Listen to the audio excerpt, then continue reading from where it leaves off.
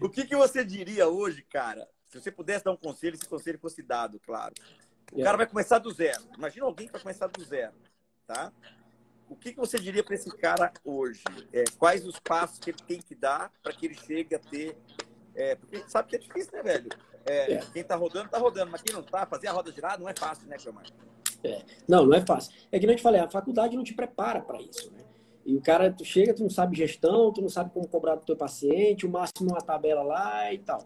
Então, quem está iniciando agora, prepara equipe, prepara você, né? Inicia da forma correta, faz gestão da sua clínica, ortodontia autoligado, inicia, linha D, sem sombra de dúvida. Cara, não, é, é, é top. Eu, não adianta eu te falar, eu usei outros brackets autoligado, usei o Demo também, excelente bracket, né? Usei Telos, muito bom. Mas aí com o Lean a gente conseguiu ter toda a facilidade disso. No caso aí do, do Rafa, eu olhei aqui ele falando também.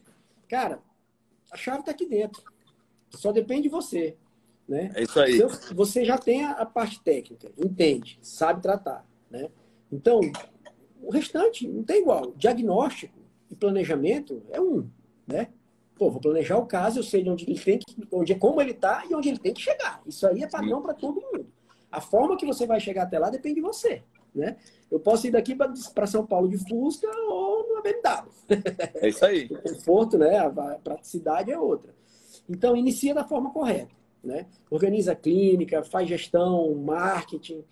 É, e relacionamento com o paciente, cara. Equipe paciente é o principal. É o principal. É Abre o jogo pro teu paciente, cara. Fala a verdade, ó. É, isso é assim, aí. vou te tratar dessa forma. Transmite confiança para ele. Tem que eu tô fazendo. Né?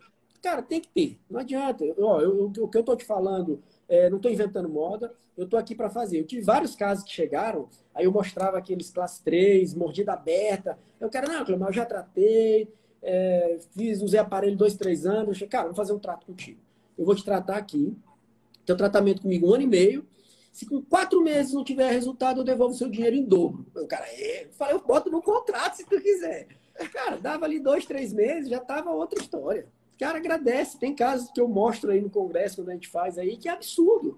E é rápido.